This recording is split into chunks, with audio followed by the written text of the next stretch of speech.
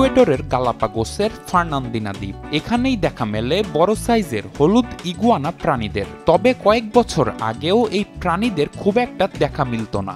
হলুদ এই প্রাণীগুলো মূলত বাস্তুতন্ত্রের জন্য বেশ উপকারী, কারণ এরা একটি পুরো এলাকা জুড়ে বীজ ছড়িয়ে দিতে সহায়তা করতে পারে।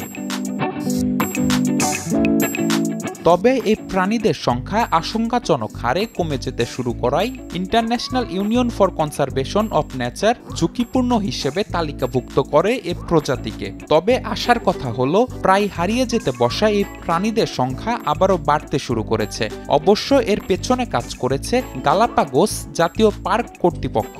সেখানকার তৃতীয় বৃহত্তম দ্বীপ ফার্নান্দিনার অভ্যন্তরে একটি স্থায়ী সংরক্ষণ কর্মসূচি শুরু করেছে তারা।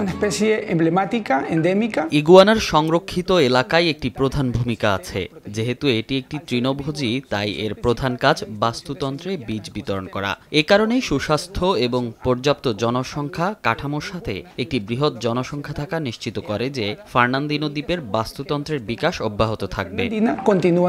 সংরক্ষণ কর্মসূচির মাধ্যমে বর্তমানে দ্বীপটিতে হলুদ ইগুয়ানার সংখ্যা বেড়ে ছেচল্লিশ হাজারে পৌঁছেছে যা বেশ আশা দেখাচ্ছে সংশ্লিষ্টদের।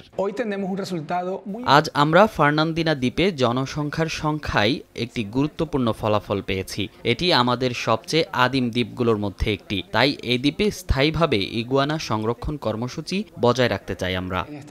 হলুদ ইগুয়ানার সংখ্যা বৃদ্ধির এই প্রচেষ্টা অব্যাহত থাকবে বলে জানিয়েছে ড্যানি রুয়েদা। নিবিড় সাহা সময় সংবাদ।